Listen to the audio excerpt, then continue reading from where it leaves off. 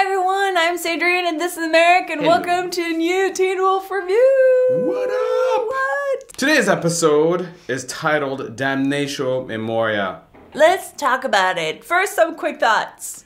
Sheriff and Stiles had an amazing moment Yeah. in this episode. Yeah, that was really good.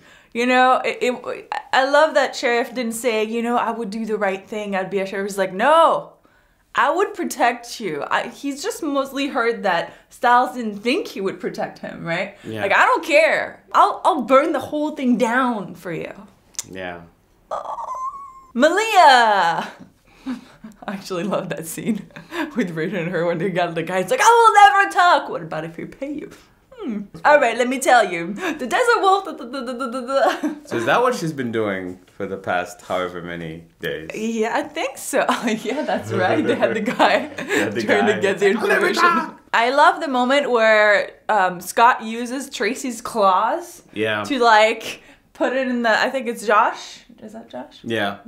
Josh's body. Can I just say that was my favorite moment of the entire episode? yeah. It's kind of interesting that Scott can still like, you know, pull his alpha out, Well, but yeah. he can't move his you know, the thing from the floor and he can't heal. I think it was just a bonding moment. a bonding moment. What? Stiles What? when they lifted together. No, Scott couldn't lift it. Yes, I know, I know, I know. But you know, in the grander scheme of things, he was. It was Okay. like In reality, though, he couldn't lift it. I understand what you're saying. I'm saying that he fought them after him and Stiles kind of, you know, rejoin forces. So his pack is getting built up again, which gives him strength. You know I'm right. no, I know no, you're right. I think you might be right. That's not the same thing. Makes sense. It's kind of annoying. Lydia! Okay, I have to admit, I thought I was understanding this, you know, going back and forth with Lydia, but I, I got a little confused this week. A little? A I'm little like, confused? wait, weren't they going to get her? I thought that was like Was the it? let me ask you a question. We know it's in the future, right? Well, I thought, yeah, that's yeah, no, hold on. We know it's in the yeah. future. All right, let's put Well, Well- this isn't in the future. Well, This is in the present. Yeah, this is in the present. This is where I got confused. Yeah, this is before the hole, the drilling of the hole. If you're gonna have confused. future Lydia, you need to change how it looks. Yeah, th- I think Because- I, I, I think that was a problem. because she honestly, it's looks very the same. confusing. So I understand it's confusing, but once you get it, you're like, oh, okay. So b- it's before she actually fought the guards.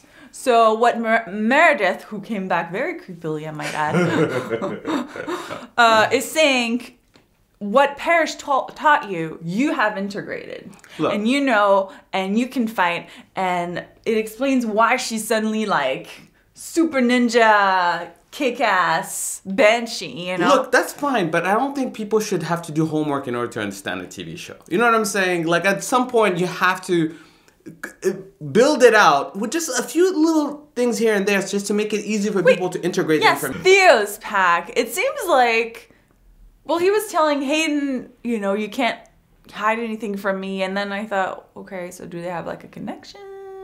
Can he read her thoughts? Is it just like a threat? Like, I don't think they like him. Let's be clear. That's one. Oh, the pack. I, I I, I found that very interesting actually because I thought, oh, they're just gonna be like brainwashed, but they're not brainwashed They're actually. yeah. They're sort of mm-hmm. themselves, although it changed a little bit, but they still make their own decisions. Yeah, they, they can So, still live their own thing. And I think he's trying to keep control over them. Not to belabor a point. Why is he still alive though?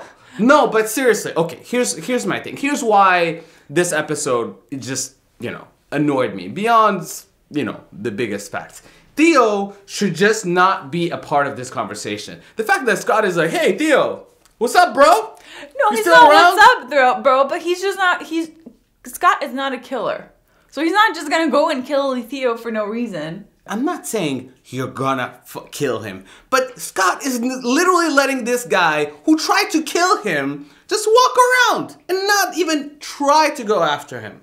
Yeah, I guess I guess he could restrain him. Well, can he? Like, I don't know if he actually has the strength to do anything. It does. Does it matter though? Has Scott is, has that ever stopped Scott before? No, I understand, but what I'm saying again, I think Scott is like, I can either weaken myself to try to get Theo, or I can deal with this other thing that's going on, and that's gonna kill all of us. Because Parrish saw the Nemeton with everyone dead from the beast. So Scott is probably like, I need to deal with this beast. Okay, Theo's kind of annoying, but right now I he can't he can't just weaken himself, I think. You know what? That's a really good point. I'm actually glad that scene was shown and it was made clear. Oh wait, no, it was not. That's my point.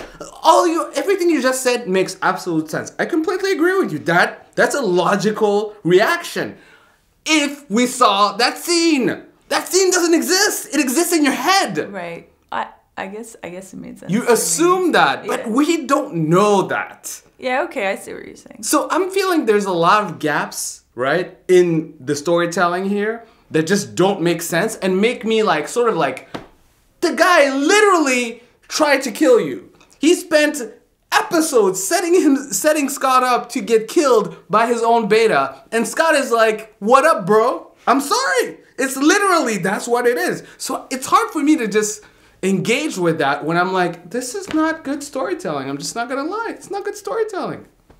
I said it. La Bête. Yeah, bet. So we finally got our first glimpse at what it looks like, sort of. And all I will say is, Argent is scared enough that he's like, all right, gotta bring Gerard back because You I know it's can't bad. do this alone. You know But it's yeah, bad when Gerard is like actually The like last brought, resort. brought back in. Yeah, so yeah, it's gonna be pretty interesting. I think we didn't fully see because there was like a lot of Yeah, it was you from know far, from far, reflection, all quick. that, so yeah. there's some stuff that we didn't see, but we can tell that it's really powerful. Yeah, and and it and it's not a chimera. No, no. It's well, resurrected. Well, I mean, maybe it's a Maybe it's chimera. a chimera. Like a, like the first chimera. Maybe that was the first chimera. Yeah, Yeah, maybe. exactly. But but it's not something that they the doctors made right now. It's something they re- resurrected. that's honestly not what I got, right? Like I got the sense that they they made something old. Well, Gerard said they didn't make a creature; they resurrected one. That's what he said. I agree. I think they resurrected it by making it. Ah. I mean, look, it's one of us is right. One of us is right. You know, it's possible. It could go either way. That's how I got it. That's how you got it. We'll see. But I do think that you know, I'm like, hey, big old beast, big old villain, big fight coming up. It's gonna be pretty interesting. Here's my thing. I'm wondering. No, no, no. It's not. It's not negative. Here's my thing. Here's what I'm wondering. There's like basically three villains that Scott has to fight in this Uh, season. Yeah, Theo, yeah, the doctors. their doctors, and, and La Bête. Look, I'm all I'm all about three villains, right? But here's the thing: when you have too many villains, Yeah. it's hard to really like get your attention on anything. So you know, Your point is they should just kill Theo. Stiles and Scott. Let's build the team back. Did you like that moment? Yeah, the pack is coming back. I'm excited. Um, I think it looks like what's gonna happen is in the next few episodes they're gonna focus on bringing back one person, right? First person is Kira, obviously.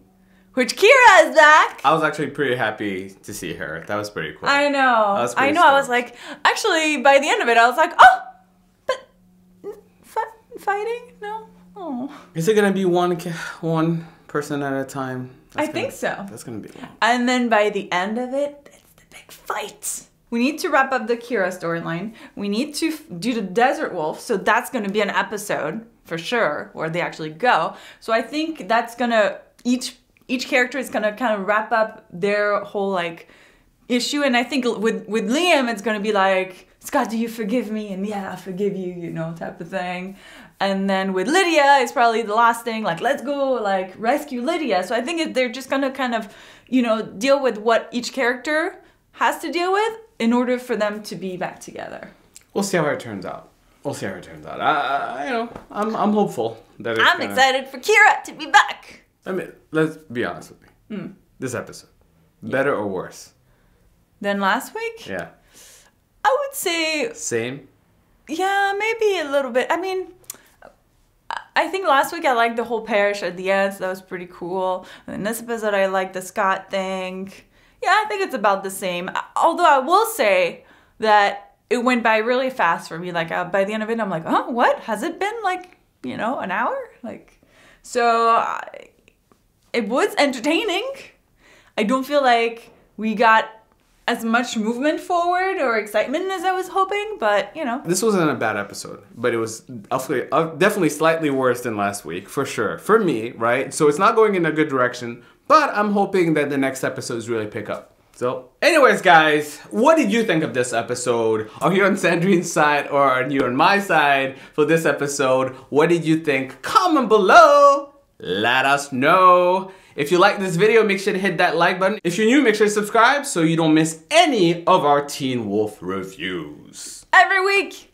What up? Thank you guys so much for watching, and we'll see you soon. Bye. And Crystal Reed is coming back.